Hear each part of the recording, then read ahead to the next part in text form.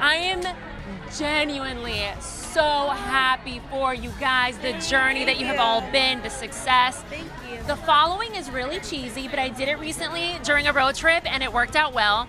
Can everyone say what you love the most about the Fifth Harmony member to your left? And then you can answer for Camila. Right? It's cheesy, but it's cute. No, it's it's nice. It's good to spread love. Um, what I love the most about Ally is her nice attitude about things. She's very positive, and in the darkest situations, she sheds light. Um, oh, what I love about Lauren is she has such a big heart and she's so passionate. Like she's really passionate about people um, doing good and, and, and people just getting the best in life. And I think that's something so beautiful. I love you. Marry me. Here, I'll put you next to the person we're gonna talk about. All right. Um, what I love most about Normani is her. Um, hmm. I think her infallible like. Her ability to keep going, like like no matter what, like everything, anything that's thrown her way, she just sort of takes it, she tackles it, and she moves on and she grows from it. And I think that that's amazing. And she's been able to do that in so many different circumstances in her life, and during this entire process. And she's just so strong. I love you. I love you. Love that. Spreading it. Okay, Dinah Jane. I think I will be nice. The thing that I love about Dinah Jane is definitely just kind of her carefree spirit, but it's in the best way possible. Um, she doesn't let you know petty things or things that don't necessarily need to bother her, you know, bother her, get in the way, and she really sticks true to you know her morals and her values and her family and to what's important. Because a lot of the time in the industry, people kind of get thrown off and they almost become a person that they don't even recognize anymore when they look into the mirror. But she stays true to exactly who she was before this whole thing even started. Oh my gosh. Okay. Okay. no. Okay. oh, walls! It's my turn to talk about Camila? Okay. Why are you smiling? Come here. Okay, to my left. Okay. I love the way Walls, I'm just gonna say Walls, that's like that's like my nickname for her. Um, I love how she thinks about life. And like she's very she also has like a carefree spirit about life.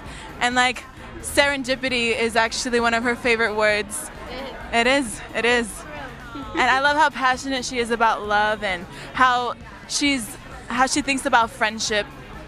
And I admire that a lot about you. Thanks. That's really nice. I have enjoyed this love fest so much. I just, I want us all to just cuddle. Um, okay, so in one week, oh, thank you.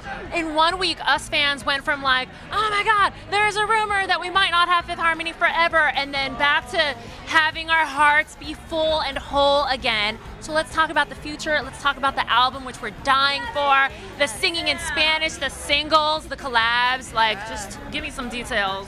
Well, I'll, I'll say something. Yeah. Um, yeah, we're really excited. We've been in the studio for the past week, two weeks. I've lost track of time.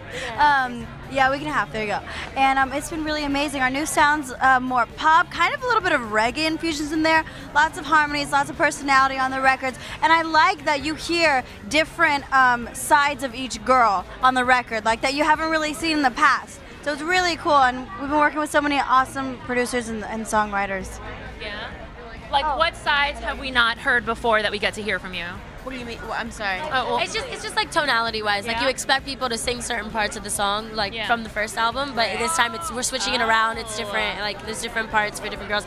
Some people are rapping on some parts. You know what I mean? Like different what? things like Who that. is rapping? It's just rap, rap melodies. I should clarify. That's amazing. That's amazing. Okay, and then uh, last but not least, now for the really hard hitting question of the evening. If you could make out with anyone in history, who would it be? Oh my gosh. Like, take it back to like the start of the Homo sapiens all the way to 2015. We have a lot to choose from. Okay, well, definitely Leonardo DiCaprio and Titanic. I would have loved to be Rose. Yes, I second that. James Dean. Ugh. Thor. Ooh, good answer. Ah, I suck at this. Um, I- I'm never really specific with an athlete. Um, I love football. Fo- yeah, anyone, anyone who can just tackle. Um, either young Leo or Abraham Lincoln. Okay, there's gonna be a little a little battle here with Ally and with me too. All right, girls. Thank you so much. You have to leave me, but I love you all. Thank you. Hope you enjoyed that Fifth Harmony Love Fest, because I sure did. Now, click left to hear what this Empire hottie has to say about season two and Becky G. Or click right for nine year albums that we are dying for to finally drop.